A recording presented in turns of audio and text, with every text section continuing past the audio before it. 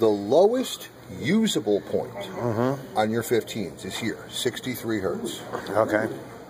But they don't perform well On the tops. 100. Okay. Okay. So on my tops, I can kill anything to Above the left. 100. Okay. Yeah. Now, the highest usable frequency you want coming out of your subs is probably also around 100. 100, Okay. 125. Those are 18 inch, single 18 inch subs.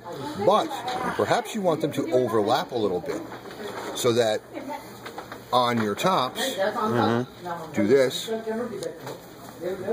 right.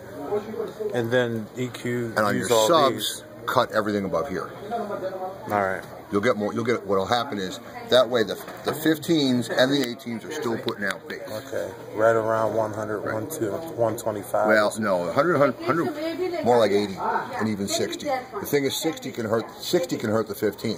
Okay. Then again, it can hurt the 18 too. And on both of them, do this. On both of them, drop the 25, 31. You'll never get them, and all, All they'll do is hurt the speaker. Okay. And then split here. So yeah. Good So to your sub is going to kind of look like this, and then from here on up, they go down. Okay? Mm -hmm. Kind of weird having an EQ on a, on a separate on a sub. Right, that's all. Okay. Um, As a general rule.